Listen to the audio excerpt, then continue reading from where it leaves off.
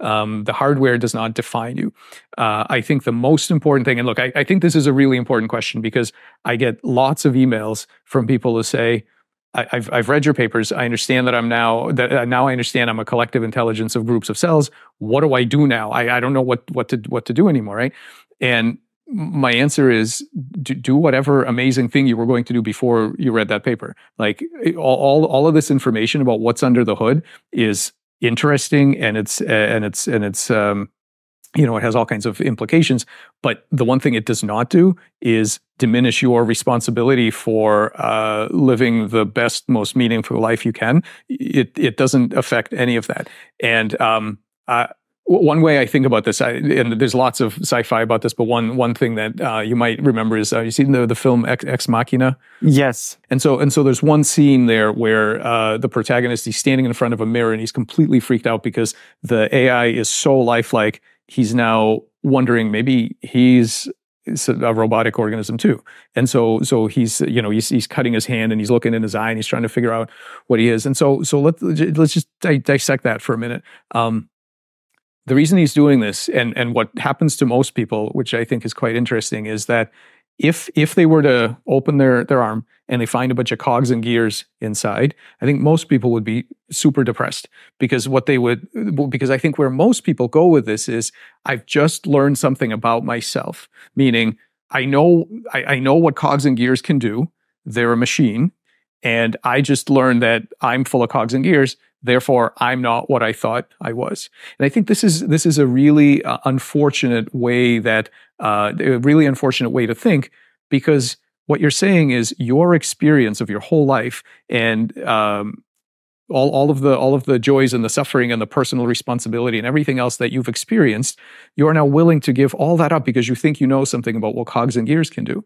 I would go in the exact opposite direction and I would say, amazing. I've just discovered that cogs and gears can do this incredible thing. Like, wow.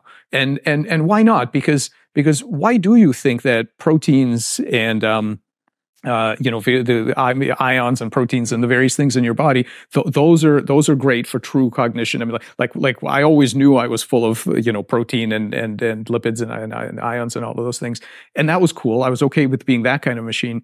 But cogs and gears, no you know no way right and so i so i think one thing that that we get from uh from our education um uh, f- focused on certain kinds of materialism is that we get an idea we get this uh, unwarranted uh, confidence in what we think different materials are capable of, and and we believe it to such an extent. I mean, I, I find this amazing as a kind of a you know an educational or sociological thing that uh, we, we, we, we imbibe that story so uh, strongly that we're willing to then give up everything that we know about ourselves in order to stick to a story about um, materials. I, I, think I think that's you know the one, one thing that I think Descartes had really really right is that uh, the one thing you actually know is that you you are uh, an agentic being with with responsibility and and a mind and and all these um, you know and all this potential and whatever you learn uh, is is is is on the background of that. So if you find out that you are made of cogs and gears, all you should conclude is, well, great. Uh, now I know this stuff can do it as well as proteins can. And so so for, so so from that, so so what I really hope um, that people get from this is simply the idea that pretty much no discovery about the hardware, no discovery about the biology or the physics of it should uh, pull you away from uh, the, the, the the fundamental reality of your being that whatever it is that you are, uh, you know, groups of cells, an emergent, um, you know, an emergent mind uh, pulled down from Platonic space, or what, whatever, which, whichever of these things are correct. Uh, the bottom line is you you you you are still uh, the the the, the you know the amazing integrated being with with with potential and a responsibility to to do things. Um, uh huh.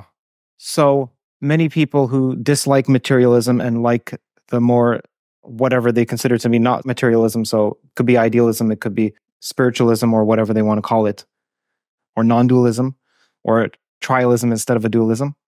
In part, what they're saying is look, I'm not material because they denigrate the material and they view it as robotic, lifeless. But you're saying there's another route. If you are material, whatever it is you turn out to be, you can elevate that So you can say, look, there's there's a dynamism to it. There's an exuberance. There's a larger than lifeness to the what I previously thought was ossifying. Yeah, for, for sure. And Iain McGilchrist uh, makes a point of this too. He says that uh, we've we've underestimated matter. You know, when when we talk about materialism, we we uh, have been sold and are selling still uh, this notion of um, of of of matter as uh, lacking intelligence, and I think that we need to give up this unwarranted confidence in uh, what we think matter can do. We we we are finding novel uh, protocognitive capacities in extremely minimal systems, extremely minimal systems, and they're surprising to us. They're they're shocking to uh, when we when you know when we find these things. And I think we uh, are are really bad at recognizing uh, what kinds of systems can give rise to minds, and therefore being depressed because we think that we are a particular kind of system, and there's no way that system can be this this you know majestic agentic being. It's it's it's way too early for that. Uh, we just we absolutely. I mean, this is this is one of the I think the major things is that we have this we have this idea that that we know what different kinds of matter can do. And and obviously i'm not i'm not just talking about you know homogeneous blocks of material. I'm talking about uh, specific configurations. But but but really minimal kinds of things can have some very surprising uh, co- uh, cognitive qualities. And so um, yeah it's it's it's it's way too early to to think that we know what's going on here. I think we have a record here of 45 minutes of recording or so and we haven't mentioned the word bioelectricity once so kudos to you, kudos to me. Who, how the heck did that happen? For a Michael Levin interview. So, what does bioelectricity have to do with any of this? Yeah. So, so bioelectricity uh, is not magic. It is not unique in the sense that uh, there are probably, uh, certainly out in the universe, there are probably other ways of doing what it does. But what it does here on Earth in the in the um, in living forms is something very interesting. It functions as a kind of cognitive glue. So when you when you have collective intelligence, you need to have um, you need to have policies and you need to have uh, mechanisms for enabling individual competent individuals to merge together into a larger emergent individual that's going to do several things. First of all, the larger network, uh, the larger um, level is going to distort the option space for the lower levels. So the parts are doing things that the parts do, but they're now doing it in a way that uh, that is coherent with a much higher level story of what's going on, higher level goals, because the, their their action landscape is bent. It's distorted by the larger level. Their perception, their um, their uh, you know energy landscape is is is distorted. So uh, that collective is going to that that new self is going to have memories, goals, preferences, a cognitive like. That's that's that that requires some some um, some some very specific features, and there are a bunch of them. And one of the uh, modalities that lets that happen, that lets the cognitive light cone scale, that lets the uh, the intelligence scale, is bioelectricity. So by taking uh, cells and enabling them to be part of an electrical network, there are some really interesting larger level dynamics. Which you know, this is what we exploit in in artificial neural networks, of course. The, right, this is this is biology. You notice this uh, since the time of bacterial biofilms that uh, electricity is just a really good way for higher level selves to emerge and higher level computation to emerge. Um, there are probably other ways of doing it, but but here on Earth, bioelectricity is tends to be the way to go. Just a moment. Don't go anywhere. Hey, I see you inching away.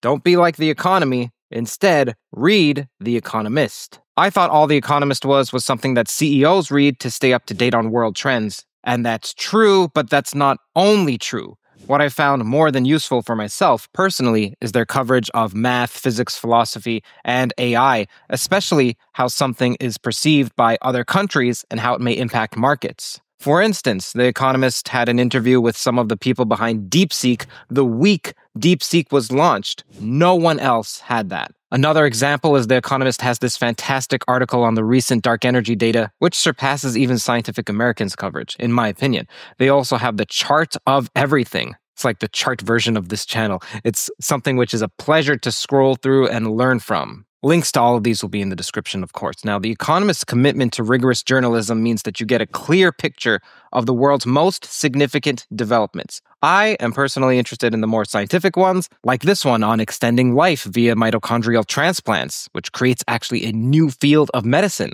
something that would make Michael Levin proud. The Economist also covers culture, finance and economics, business, international affairs, Britain, Europe, the Middle East, Africa, China, Asia, the Americas, and of course, the USA. Whether it's the latest in scientific innovation or the shifting landscape of global politics, The Economist provides comprehensive coverage, and it goes far beyond just headlines. Look, if you're passionate about expanding your knowledge and gaining a new understanding, a deeper one of the forces that shape our world, then I highly recommend subscribing to The Economist. I subscribe to them, and it's an investment into my, into your intellectual growth. It's one that you won't regret. As a listener of this podcast, you'll get a special 20% off discount. Now you can enjoy The Economist and all it has to offer for less. Head over to their website, www.economist.com slash toe, T-O-E, to get started. Thanks for tuning in, and now let's get back to the exploration of the mysteries of our universe. Again, that's economist.com slash toe.